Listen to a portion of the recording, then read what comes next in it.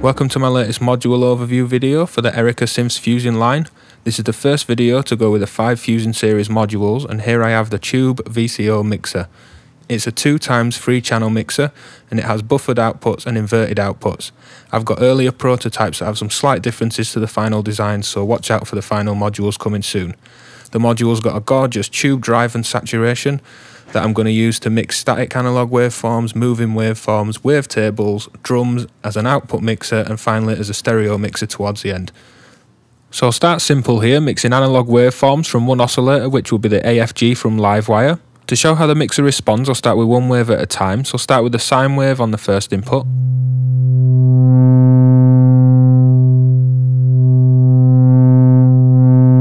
You can hear it adds a lovely fuzzy top to that sine wave when the level's up full. Here's a triangle wave.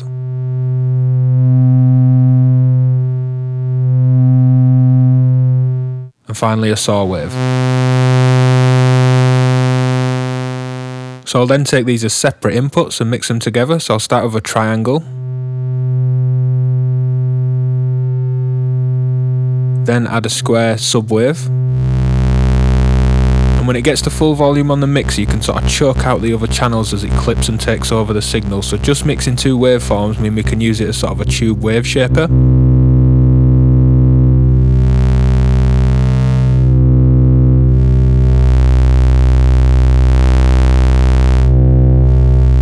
I'll now add a saw wave on the third input.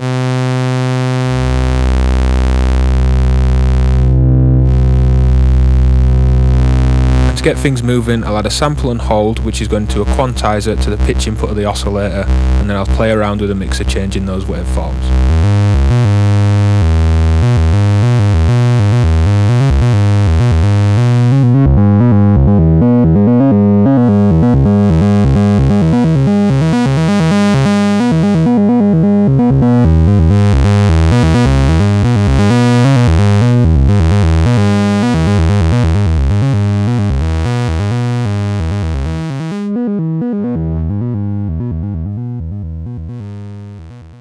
So here we'll look at some moving waveforms. I'll stick with the AFG as the oscillator and I'm going to use the harmonic animation section and take out the alien saws into the VCO mixer. As we increase the gain like before you can hear it adds a really nice extra fizzy top to the waveform. I'll now add some LFOs, moving those alien waveforms harmonic content.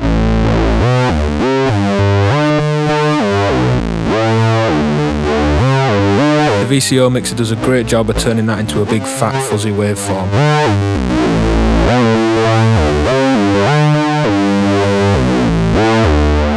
I'll then turn this down and take the pulse output and use some pulse width modulation.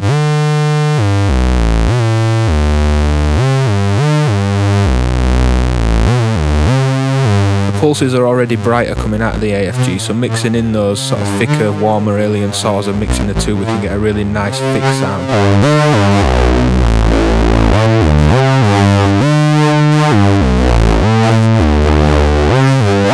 Here's slowing down the LFOs, moving those waveforms.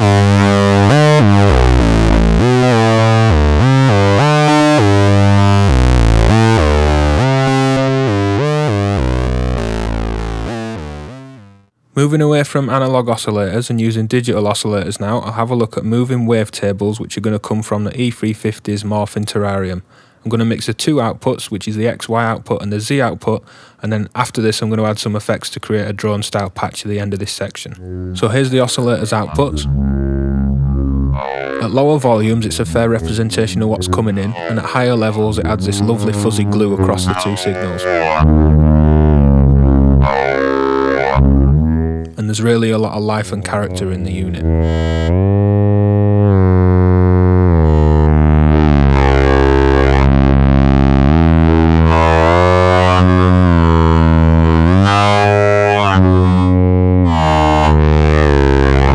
So here's some delay and then spring reverb which is after the VCO mixer just to create a bit more of a sort of spaced out drone style pad.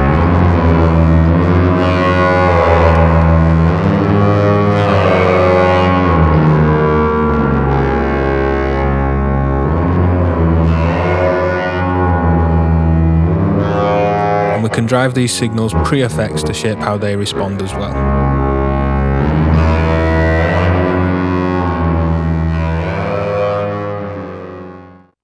Here we'll look at the VCO mixer as an output mixer, which isn't the intention, but it's a nice added glue at the final stage of a patch with several parts going into the mixer. The first thing I have is a simple kick drum patch,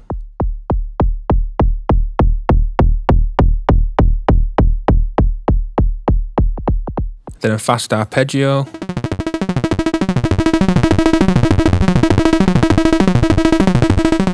then a simple bass line that already has some effects on there. So I'll start mixing these.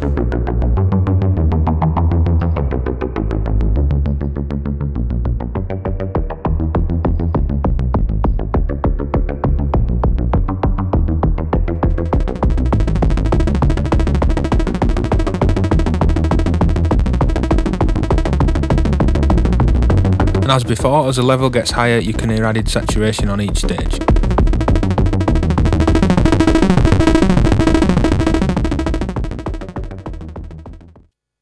Now I'll use the VCO mixer as a drum mixer. I've got the Korg Volca Beats going into the top channel with a nice clean output. And as with the oscillators, we can saturate and drive this nicely. Turning up the bass drum's decay on the Volca, you can hear the drive in the low end.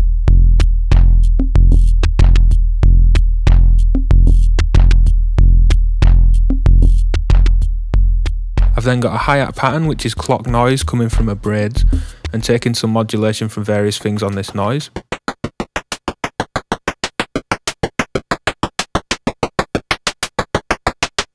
And I've also got a little FM percussive part on the third channel, so I'll mix these and squash them into each other and show how the mixer responds.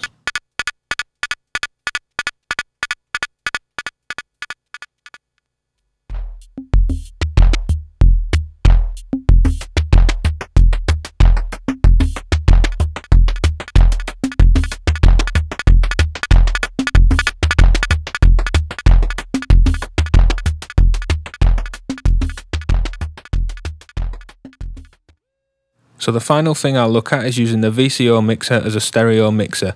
As it's got two free channel mixers, we can mult signals across the both sides and use various waveforms on both sides and then take the A and B outputs as a stereo pair. One thing to note here is I do have a few dodgy cables that I knocked, so bear with it if there's any clicking and sound, you'll see that. So I'll start using the E350's two waveform outputs and mix that across both sides.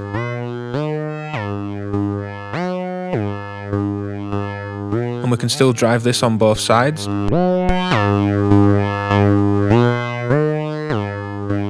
next waveforms are a sine wave and a triangle wave coming out of an AFG and this is tuned up to an interval above the E350.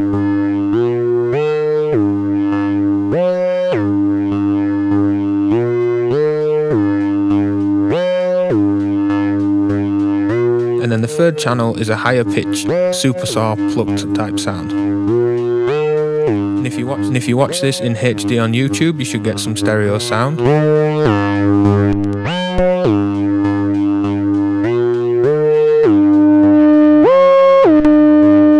And this could just be the start of a stereo patch. You could extend this by taking the A and B outputs into different filters and through different effects and then taking those as two separate feeds for the left and right to create your own stereo patches.